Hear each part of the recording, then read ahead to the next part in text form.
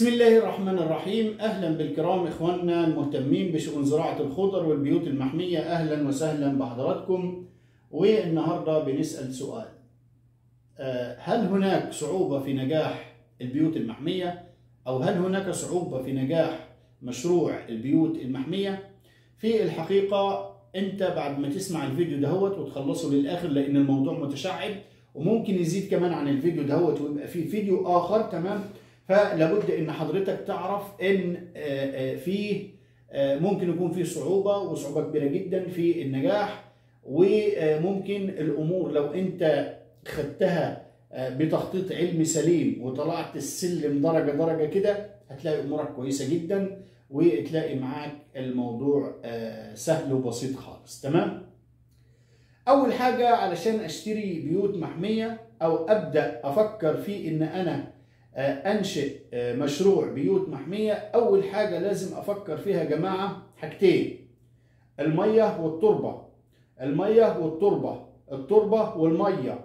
التربة والمية. دول 50% من نجاح البيوت المحمية. دول العاملين دول عليهم 50% من النجاح. عندي تربة كويسة وعندي مية كويسة الأمور عندي تمام ما عنديش أي مشكلة خالص. تمام؟ مية وتربة. السويل والوتر. السويل والوتر. تمام؟ الاثنين. المية والتربة والتربة والمية. دول النهارده لو عايز أعمل مشروع بيوت محمية فالمية عندي المفروض ما تزيدش عن 500 600 أمورك كويسة خالص. تمام؟ لو عندك الأرض رملية ممكن تكون ال 700 800 ده أقصى ما عندك ده لو ما عندكش تربة يعني. تمام؟ 700 800 تمام؟ طيب. إمتى لو أنا عندي أرض رملية ممكن تكون 700 800 طب ليه؟ لأن الأرض الطينية بتحتفظ بالمية واللي بتحتفظ بالمية أكيد بتحتفظ بالأملاح. القصة مش في إن أنا أروي مرة واثنين وثلاثه وسنة واثنين لا. القصة إن يا جماعة لما إحنا بنسقي مية فيها أملاح الطين أساسا بيحتفظ بالمية لأن المية اللي بتنزل أساسا القطاع الأرضي بتروح لثلاث حاجات المفروض يعني تمام؟ ومش عايزين نتعمق قوي أول حاجة النبات بيمتص جزء بس بيمتص جزء كويس. وبعد كده المية بتتبخر اللي بتبخر المية ما بتبخرش الأملاح خالص. يعني المية بتتبخر من سطح التربة اللي أنت رويتها وبتفضل للأملاح. وبعد كده في جزء من المية دي بيروح في مية الصرف تمام؟ ايا كان الحال أنا بضيف مية فيها أملاح كتيرة تمام؟ وبضيف أسمدة كل ده يا جماعة بيزود لي قصة التمليح سنة عن سنة. فالأراضي الطينية بتحتفظ بالأملاح ديت وبتحتفظ بالمية. الأراضي الرملية بتنزل على طول لتحت بتتغسل كتير منها في مية الصرف والأمور بتبقى كويسة جدا. الأراضي الكلسيه ما عنديش أساسا أي مشكلة فيها. ليه؟ الأراضي الكلسيه أقدر أعالجها بالمادة العضوية لو ضفت مادة عضوية كويسة وبالمعاملات الزراعية الكويسة وبالمادة العضوية زي ما قلت والأحماض وبراعي برنامج التسميد إن عندي أرض كلسيه ونسبة كربونات الكالسيوم فيها عالية والبي اتش فيها عالي والحديد هيحصل له مشاكل والعناصر الصغرى هيحصل لها تثبيت كل ده كلام ناس مختصين على فكرة أنا ما بوقفش عنده لأنه شرحه قبل كده في فيديوهات كتير تمام؟ القصة دي كلها يا جماعة الخير أقدر أتغلب عليها تمام؟ فأنا عندي أراضي طينية وعندي أراضي رملية وعندي أراضي كلسيه تمام؟ وعندي أراضي الحمراء اللي هي بتاعت سوريا ديت اللي بيسود فيها أكاسيد الحديد ودي من أجمل وأنظف الأراضي. ارض الرملية إلى حد ما كويسة جدا في زراعه الخضر بالذات تحت البيوت المحمية ممتازة جدا. ارض الطينية أنا ما بعولش عليها ويا ريت لو عندك أرض طينية هتعمل لك مشاكل كتير. مشاكلها إيه باختصار؟ الأراضي الطينيه زي ما قلت لك من شوية بتحتفظ بالمية. احتفاظها بالمية ده هيعمل لي مشكلتين تمام؟ هيعمل لي مشكلة إن أنا الرطوبة الأرضية هتكون زايدة وعندي الرطوبة اللي هتتبخر من الم... من التربة ديت هتكون برضو الرطوبة الجوية هتكون عالية. طب رطوبة جوية عالية ورطوبة أرضية عالية إذا فعندي مشكلتين بالنسبة للأمراض الفطرية. عندي الأمراض الفطرية في الجزء اللي هو الهوائي اللي فوق سطح التربة من النبات وعندي الجزء اللي هو الجذور اللي موجودة تحت تمام؟ طيب اللي فوق ده فيه مشكلة طبعا. عندي ندوات عندي لفحات عندي بياض دقيقي عندي بياض زغبي عندي كل الحاجات ديت هتعمل لي مشاكل الرطوبة هتزودها ودول بيزيدوا مع الرطوبة الزايدة تمام؟ معظمهم يعني تمام؟ طيب بالنسبة ال بالنسبة لي ال ال واحد هيقول لي لا بالنسبة للجزء بقى اللي تحت أكيد طبعا. في رطوبة عالية تحت تمام؟ في في في, في التربة. في سوء تهوية أساسا في التربة. فدي على طول هيحصل لي حاجة. هي إيه أعفان الجذور؟ ده بالنسبة للجزء اللي تحت. واحد هيقول لي هنحط الملش الملش برده ماشي هي هي هي هيعمل لي تخفيض في في في في الرطوبة الجوية. ولكن في الرطوبة الأرضية أعتقد إن الملش هيكون خارج نطاق الخدمة. يعني بالعكس ده هيزود الرطوبة وهيسخن التربة فأكيد هيبقى فيها أمراض فطرية. بس مش مستحيل إن أنا أزرع فيها. أزرع فيها ولكن اللي يزرع فيها يكون بطل ليدر قائد. بعد ما خدنا المية والتربة ونوعيات التربة إن يا ريت المشروع بتاعك يكون جنب العمال عشان من الآخر يعني. في عمال مستديمة طبعا ده ما تفرقش المشروع هيكون في الواحات هيكون في أي مكان في في في الدولة اللي هتعمل فيها في السعودية في الكويت في العراق أي حتة. بعيد طالما متوفر العمالة ما عنديش أي مشكلة خالص. ولكن بالنسبة للناس اللي هي العمالة بتاعتها يومية لازم المكان يكون قريب من المدن تمام؟ إلا إذا وجد معوقات ثانية تمنع إن أنا أعمل المشروع دوت تمام؟ بعد كده يا جماعة الخير المدن تكون قريبة منك برضه عشان التسويق. ما أنت مش هتعمل النهارده هتعمل هتعمل مشروع بينه وبين أقرب مدينة مثلا 500 600 كيلو. ده غلط يا جماعة ما ينفعش. لأن الشحن اولا الخضار ما بيتحملش ثانيا أجرة الشحن هتكون عالية فمشكلتها مشكلة كبيرة. المهم بقى إن قبل ما تخطط للبيوت المحمية خطط أنت هتعمل بيوت محميه ديت إيه؟ هتعمل لي حاجة من الاثنين آه مجمعات ولا هتبقى سنجل مفرد؟ دي حاجة تخصنا. يعني أنت هتعمل مجمعات دي حاجة. هتعمل آه مفرد دي حاجة تانية خالص. تمام؟ طيب. خليني من الحتة دي دلوقتي وخليني أقول لك نوع البيوت اللي أنت هتعملها إيه؟ ديت اللي هي هتخصني. البيوت هتبقى مكيفة مبردة ولا هتبقى على فكرة لما بنقول مكيفة في صور مبردة وبرضه فيها تكييفات فيها مكيفات فيها آسف فيها سخانات أو هيتر بالنسبة للشتاء تمام؟ وأنا عارض الكلام ده في فيديو عندي كان عندي قبل كده تمام؟ فهعمل أنا البيت دهوت هيكون البيت ده هيكون مجمع مبرد ولا هيكون عادي؟ لو أنا جيت لدولة زي من أي دول الخليج مثلا وقلت هشتغل طبعا ما عدا بعض الأجزاء مثلا من دول الخليج بتبقى فيها البيوت مبرده فعادي ممكن نشتغل عادي في البيوت العادية يعني من غير مبرد مثلا تمام؟ ولكن في بيوت في أماكن مثلا زي الكويت ما ينفعش إن أنا أزرع فيها إلا لازم يكون مبرد تمام؟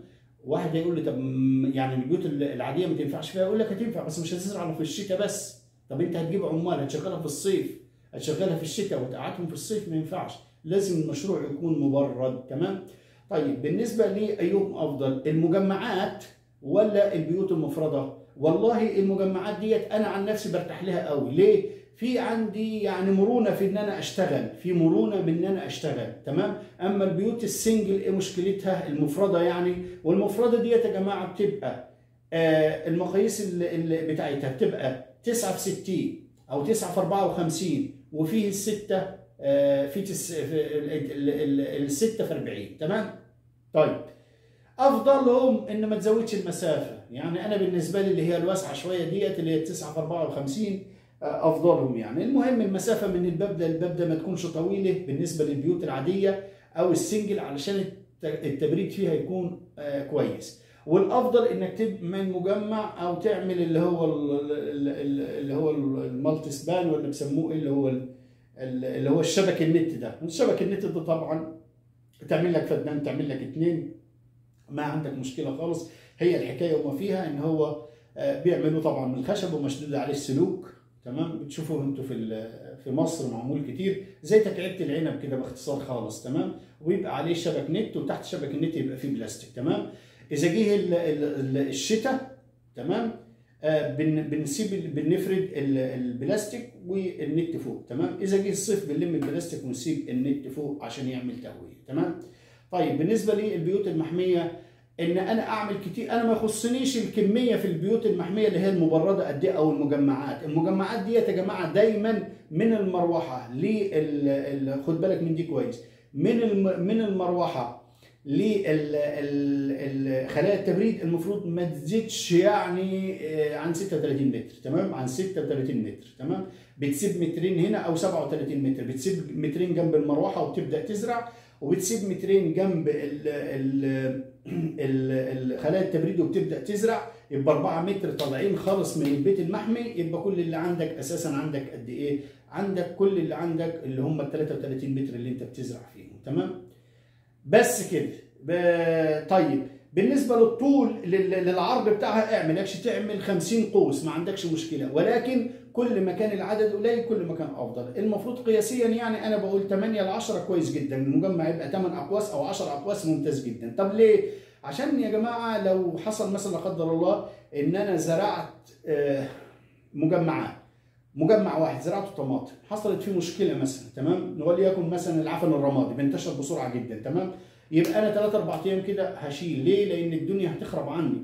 طيب أنا لو عندي البيت ده فيه والبيت ده ما فيهوش لا هقدر أتصرف تمام؟ فمشكلة الأمراض عندي.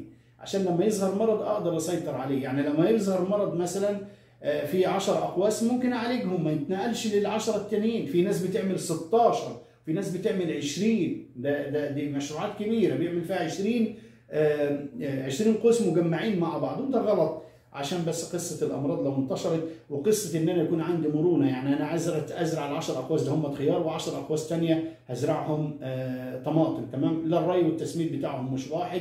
في اختلاف بالنسبة للمرحلة العمرية بتاعت مراحل النبات نفسها من حيث التجذير للنمو الخضري للأزهار للجمع والكلام ده كله. اللهم غيثا نافعا. آه بعد كده آه بعد ما قلنا القصة ديت بالنسبة للأغطية بقى نوع الأغطية. إحنا عندنا الأغطية البلاستيك طبعا البلاستيك كلنا عارفينه وعندنا ال polycarbonate وعندنا الفايبر جلاس وعندنا الزجاج كمان الإزاز. طيب بالنسبة للزجاج طبعا مش مشهور بصراحة.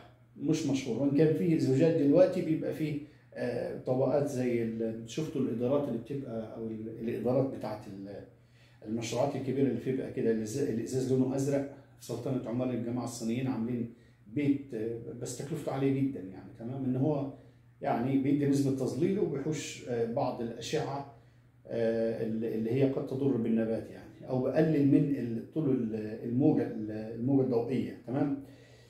ف وعندنا الفايبر جلاس اللي هو ال ال الألياف تمام؟ عند الفايبر جلاس أنا ما بحبوش عن نفسي. وليه ما بحبش الفايبر جلاس؟ الفايبر جلاس مشكلته يا جماعة الخير ان هو بيقعد أربع سنين بالظبط كده خمس سنين بكتير وبتلاقي لونه ابتدى يبقى أصفر تمام؟ بيتأثر عنده تأثير جامد بالعوامل الجوية سواء الشمس أو حتى الرياح لما بتقوم وتجيب تراب كده بيعمل خدوش فيه فبيعمل مشاكل والإضاءة فيه بتقل عن عمره قليل جدا. 3 4 سنين بتلاقي الإضاءة قلت جدا فيه. تمام؟ البلاستيك أنا ما بحبذهوش لأن البلاستيك طبعا بالنسبة للناس اللي على قدها البلاستيك زي الفل ما عندكش مشكلة خالص بس يا ريت حضرتك تجيب البلاستيك ال 200 ميكرون يعني. تمام؟ ال 200 ميكرون ممتاز جدا ممكن يقعد 3 وأربع سنين لو أنت حافظت عليه واللي شده شد كويس من الأول هيبقى كويس معاك ما عندك مشكلة فيه. تمام. آه بالنسبة للفايبر جلاس أنا بصراحة أكتر حاجة أفضلها أنا اشتغلت على كله الحمد لله أفضلهم الفايبر جلاس بامان ال fiber آه ال polycarbonate آسف آسف آسف آسف. ال polycarbonate أفضلهم ال polycarbonate. ال polycarbonate من الحاجات اللي بتدي إضاءة كويسة جدا وحتى لو عملت عليه تظليل ورحت تغسله تاني بطينة ولا حاجة ورحت تغسله تاني في الصيف بتلاقيه بقى كويس جدا. ال polycarbonate النهارده عندي مثلا البيوت كانت مظلمة. ما, ما هو أنا في مشروع وفي هواء وفي وفي وفي. عندي تظليم الظلام أو الإضاءة مش كويسة. النهارده جه شوية مطر خلوا ال polycarbonate كانه لسه طالع من المصنع مع إنه متركب من أربع سنين أو خمس سنين. ديت حاجات يعني آه لابد ناخدها في الحسبان. طبعا في حاجات تانية هنتكلم عليها بس يعني آه لحد كده وبس عشان ما حدش يمل وما حدش يزهق. آه أهلا بحضراتكم. والسلام عليكم ورحمة الله تعالى وبركاته.